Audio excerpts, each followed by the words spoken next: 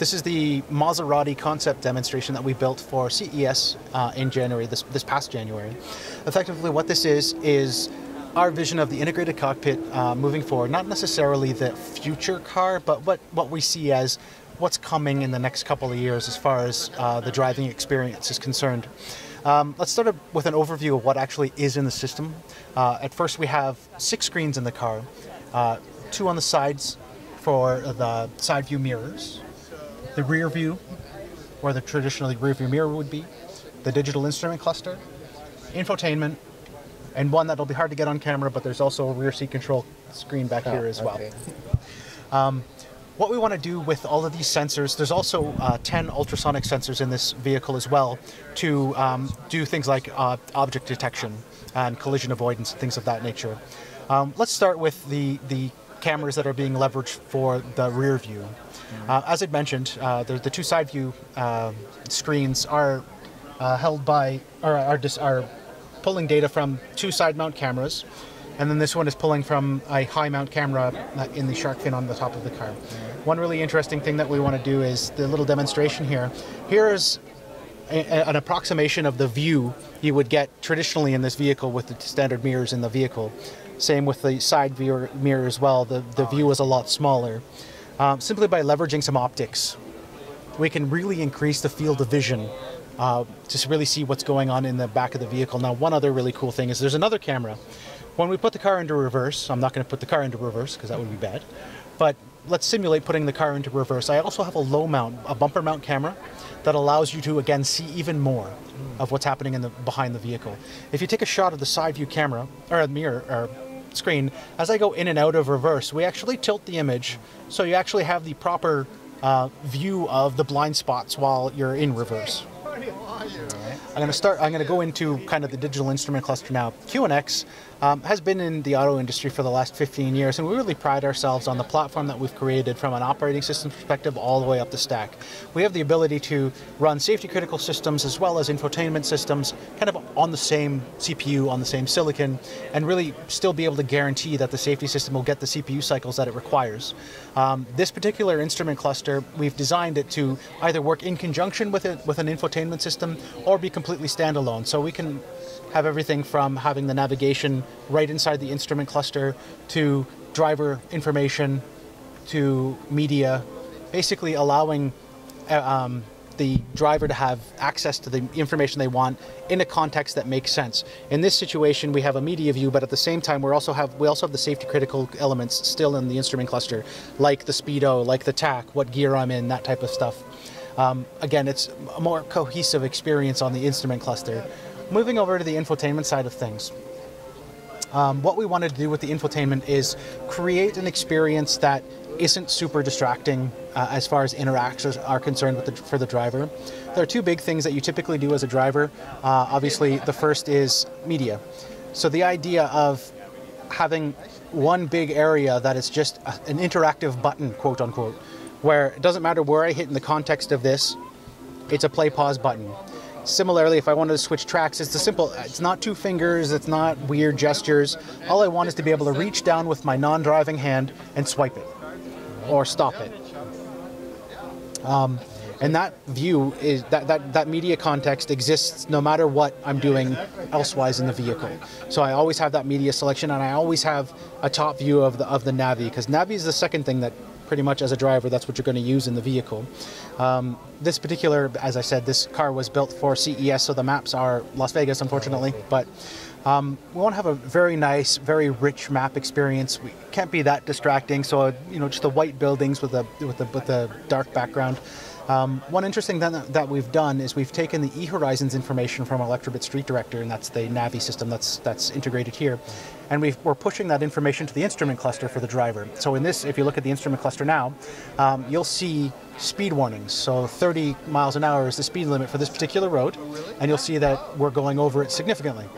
Um, one interesting piece, if we keep the camera on there, um, when we hit a curve in the road, you're going to get curvature of the road warnings as well.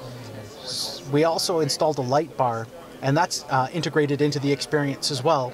Um, basically, I don't necessarily even want to pull my the driver's eyes off of the road even if there's a curvature of the road warning, I want to. My eyes are up. I see it's red or yellow or green, so I can actually keep the, my eyes on the road and at the same time be alerted to the fact that there is something coming and it's that direction, whether it's an obstruction or a curve or whatever the case may be. It's pulling that enhanced map information and not necessarily displaying it on the map, but in the cluster where the driver's used to looking anyway, or even better, keeping their eyes on the road.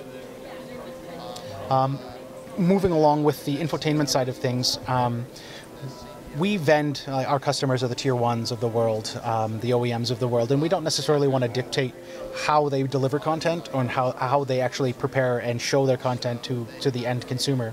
So this particular platform, uh, we support basically any and all graphics platforms. So if you want to write it in native OpenGL or you want to use HTML5 or Qt or even Android applications on this platform, the iHeartRadio app is an unmodified APK from Google Play that just simply runs on our platform.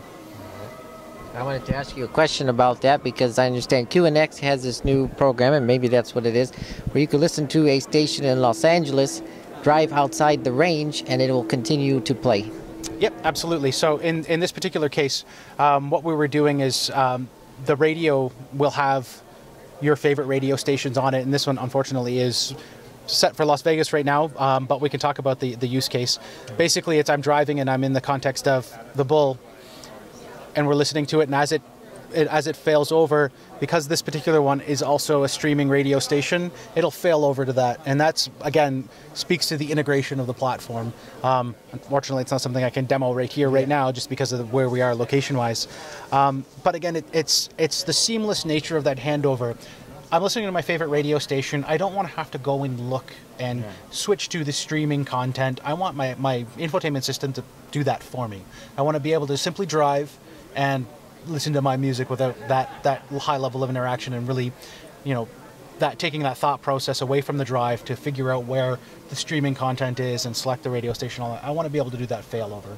And that's kind of the, the biggest um, let's call it the, the, the biggest bang for your buck when it comes to the integration is how, how can I leverage all of these disparate systems in a way that makes the driving experience as seamless as possible?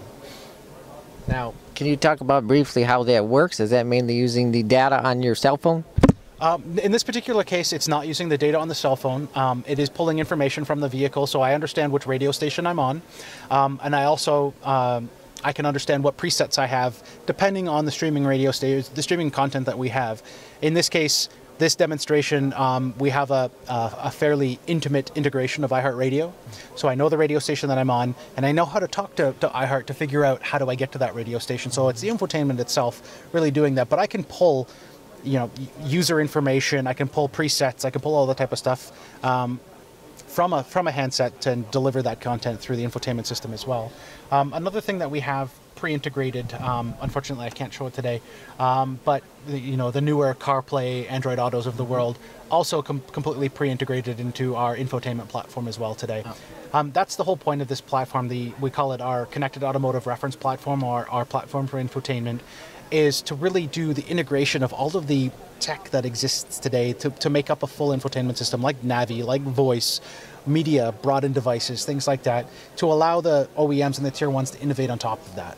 So do all of the plumbing, make everything connect and work together, and then allow for you know kind of that leap when it comes to production programs. They don't have to necessarily worry about the platform level. Now, obviously they do, and that's there's a lot of um, differentiation in the platform, but we uh, basically take our modules that we sell into the market and we created our own um, integration of them. All right. Now, currently we're sitting inside a Maserati. Yep. What other cars can we find this on in the future? Um, from a platform perspective, um, we've shipped in about 60 million vehicles since 2000. So a lot of the domestic brands and, and a lot of the, the brands that are fairly popular in the market, um, odds are you've driven something with QNX technology in it today. All right. How soon can we see this technology in the new cars? Um, you're seeing a lot of this stuff today, maybe not as integrated as this, but again, it's building on the modules that exist in the in in market today.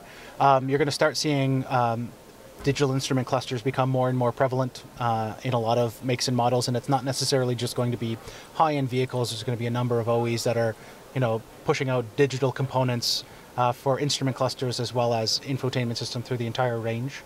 Um, but look for this type of information and integration for the in the next year, two years. You're going to see levels of this coming